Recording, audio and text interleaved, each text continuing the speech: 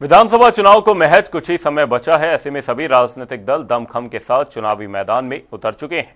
ऐसे में राजनीतिक बयानबाजी भी जारी है। कृषि मंत्री कंवरपाल गुर्जर ने कांग्रेस की अब की बार सत्तर पार किनारे पर निशाना साधा है। वहीं कांग्रेस की गुटबाजी को कांग्रेस का कल्चर करार दिया है।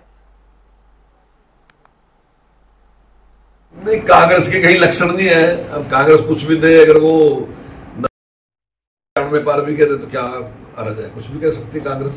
लेकिन कांग्रेस के कोई लक्षण इस प्रकार के हैं नहीं कि कांग्रेस की कोई अच्छी स्थिति हो। चाहे उनका आपस के टकराव है और चाहे जनता के बीच में लोकप्रियता की बात है। वो ठीक है, सारी पार्टियाँ इकट्ठी कि लोकसभा में पाँच सीटें वो जीत गए। लेकिन अब की बार जब विधानसभा का चुनाव होगा तब नहीं, क्योंकि कुछ काफ़ी झूठ बोलती है उन्होंने। सर का कल्चर है ना जी वो। वो उसको कोई बुरा नहीं मानते। कि यहाँ कल्चर है ऐसा। वो कहते हैं कि भाई उसमें ही बरकत है उनके यहाँ। ऐसी लड़ाई लड़ोई में बरकत समझते हैं हमारे यहाँ एकता में बरकत है। हम समझते हैं कि हम सारा एक मुखी होके चलेंगे। तो मैं समझता हूँ कि जो एक मुखी होके चलने वाले हैं, वो ही देश को आगे लेके जा सकते हैं। जो लोग आपस में ही एक नहीं है, वो देश का क्या करेंगे? वहाँ तो अपने स्वार्थ ज़्यादा है ना।